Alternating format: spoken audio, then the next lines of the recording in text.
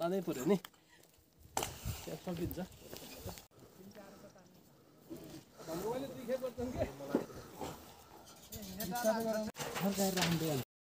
हामी तला म्याग्दीको मङ्गला गाउँपालिका एक कुँको भिर कटेरमा छौँ। र स्थानीय फाली फगामी र रतिकला फगामीको यो घर देखाइरहेका छौँ। यो पाली खरले छाएको छ र चुनी भएको कारण माथिबाट तिरपाल प्लास्टिकले एउटा पानी छेक्ने काम गर्ने र एउटा ओतमा बस्ने व्यवस्था गरिएको छ र यो ढुङ्गाले छाएको घर पनि जीर्ण अवस्थामा पुगेको छ। उहाँहरू दुवैजना वृद्ध हुनुहुन्छ। बुबा राम्रोसँग बोल्न सक्नुहुन्न। आमा खसेर घाइते भएको कारण हिँड्न राम्रोसँग सक्नुहुन्न।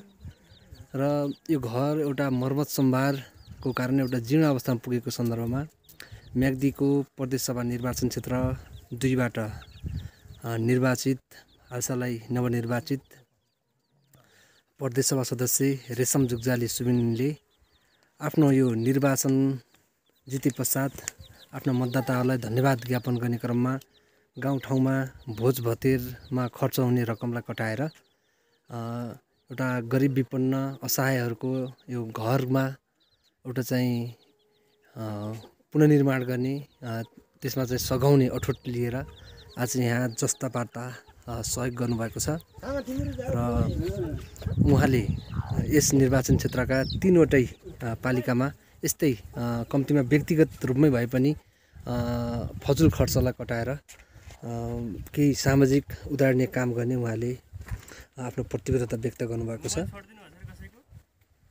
यहाँ छ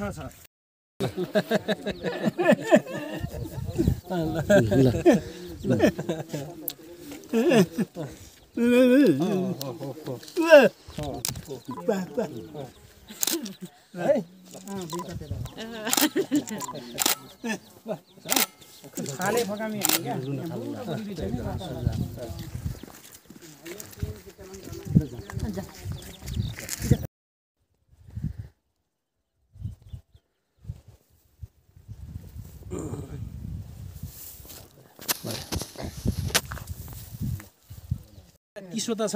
अलिक पुग्दैन होला। रविनजीको गाडी त्यहाँ बेनी जान्छ।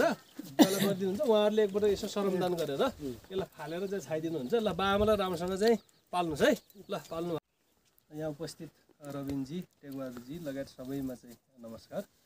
खास कस्तो छ भने यो चुनावको सन्दर्भ घर दैलोमा पनि यो ठाउँमा आउनु त भ्याइएन। रविनजीले चाहिँ कुरा गर्नुभएको थियो होइन यहाँको चाहिँ यो फाले दाई र उहाँको चाहिँ यो बाह्र आमाको विषयमा। र चुनाव जितिसके पछाडि कस्तो भयो भने धेरै ठाउँमा एकदम चाहिँ खसी काट्ने राँगा काट्ने अब खर्च बढी हुने भन्ने भइसकेपछि सबैको मलाई पनि लागिरहेको थियो र सबैको सुझाव।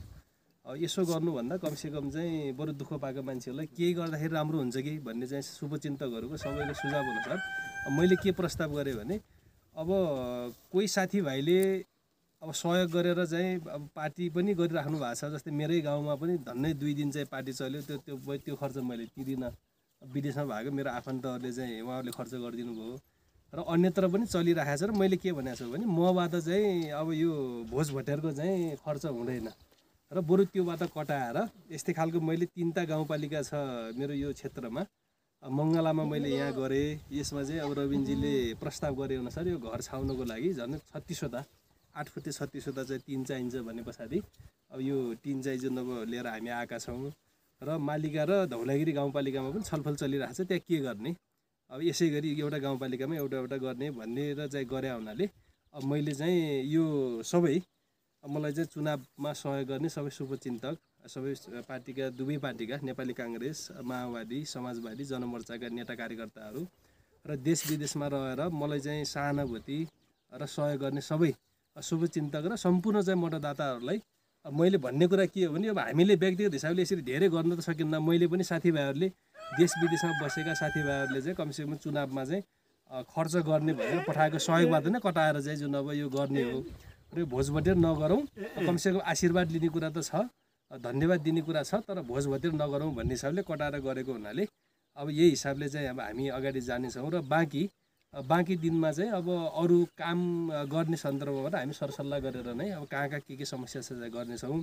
कमसेकम यो चाहिँ एकदम यहाँ आज आउँदाखेरि जुन अब यो बाह्र आमाको स्थिति हेर्दाखेरि झन् अब जुन सही ठाउँमा रविनजीलाई मैले चाहिँ के छ त्यहाँ भन्दाखेरि उहाँले जुन प्रस्ताव गर्नुभएको थियो यहाँ घर पनि हेरियो र अब उहाँहरू चाहिँ छोरीको सहारामा हुनुहुँदैछ। बाह्र आमाको स्थिति हेर्दाखेरि अब सही ठाउँमै अब निर्णय भएछ भन्ने लाग्छ। त्यसको लागि चाहिँ अब रविनजी लगायत सम्पूर्ण साथीहरूलाई चाहिँ धन्यवाद। र अब मैले चाहिँ यसै गरी अब अन्यत्र पनि के सकिन्छ जस्तो आफूले सक्ने कुरा अन्य अन्य चाहिँ साथीभाइलाई हात फैलाएर गर्ने कुरामा चाहिँ मेरो यो चाहिँ निरन्तर हिजो पनि मैले गर्दै आएको हो। र अहिले पनि चाहिँ जुन अब गर्नेछु र अब यसको लागि चाहिँ अब रविनजीलाई अब मैले चाहिँ यो हाम्रो तर्फबाट तपाईँ हामी सबैको तर्फबाट भयो। तपाईँले कमसेकम यहाँको युवा क्लब अब हाम्रो साथीहरू दुवै दलका साथीहरूलाई चाहिँ ल्याएर श्रमदान गरेर यसलाई छाइदिने काम गर्नु होला यसको लागि चाहिँ मैले है तपाईँको छाइदिने काम चाहिँ छाइदिने काम चाहिँ तपाईँको दुवै दलका कार्यकर्ता र युवाहरूलाई परिचालन गरेर तपाईँको चाहिँ भयो है त ल ल ल।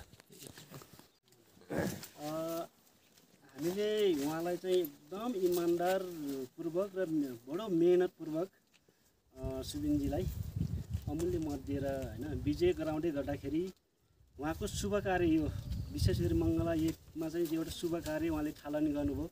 एकदम खुसी यो मानेमा छ कि उहाँको शुभ कार्य यस्तो होइन जसको नाममा एक टुक्रा जमिन पनि छैन होइन?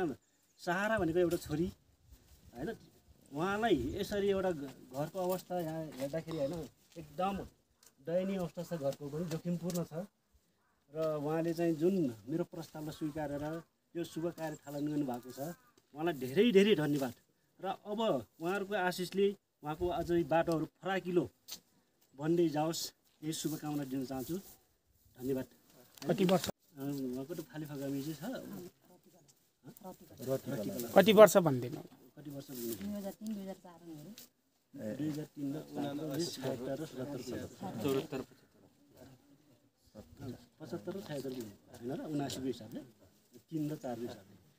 अँ, उहाँको चाहिँ नाम फाले फगामी। उहाँ चाहिँ अब शाब्दिक उस भन्दाखेरि अब हुन त अब यहाँ गाउँले भाषामा चाहिँ लाटो भनिन्छ। उहाँ बिल्कुलै त्यो उस छैन होइन? बोल्न सक्नुहुन्न। उहाँ इसारामा चल्ने हो। उहाँ रटिकला फगामी। अँ, उहाँ चाहिँ अहिले अवस्था हेर्दाखेरि अब धेरै बिरामी अवस्थामा हुनुहुन्छ। तिन चार पटक त अहिले यही वर्षमा मात्रै नै उपचार भइसकेको छ उहाँको। अत्यन्त दयनीय अवस्था छ। छोरीले चाहिँ यता त्यता गरेर उपचार गरिराख्नु भएको छ। उहाँहरू चाहिँ अहिले चाहिँ छयत्तर र सतहत्तर वर्ष पुग्नु भएको छ। अवस्था अत्यन्त दयनीय छ। सबैले चाहिँ अब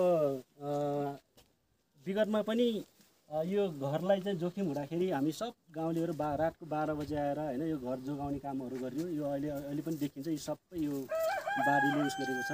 र उहाँलाई चाहिँ अलिकति राजनीति प्रतिशोध चाँडेर होइन अब यो यस्तो अवस्था देख्दा देख्दै पनि यो योजनामा नपारेको अवस्था र यो जनगुनासो सुनिसके पछाडि मैले उहाँलाई हाम्रो माननीय रेशम जुगजालीज्यूलाई चाहिँ यो प्रस्ताव गरेँ र त्यो मेरो प्रस्तावलाई सहर्ष स्वीकारेर यो जुन शुभ कार्य गर्नुभएको छ उहाँलाई पुनः धेरै धेरै धन्यवाद।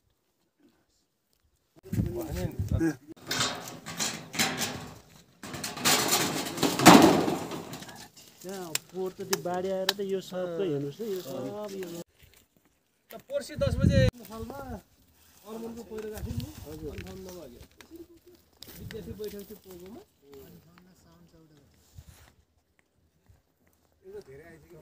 ठिक छ क्या? ठिक छ। तिनवटा त छ यहाँ आँगनमा लान्डा लान्ने भन्छ।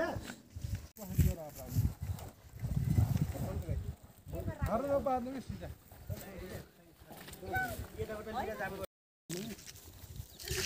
मैले धन्यवाद दिन चाहन्छु सबैलाई सहयोग गरेको धन्यवाद। धन्यवाद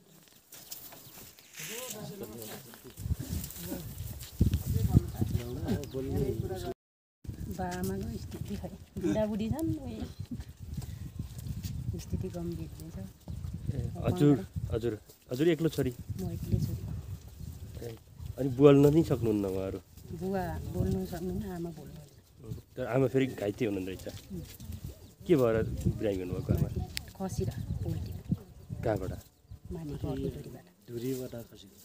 अनि घरको अवस्था चाहिँ भनौँ घरको जीर्ण अवस्था कस्तो छ भन्नु त? नाजुक जे छ नि अलिकति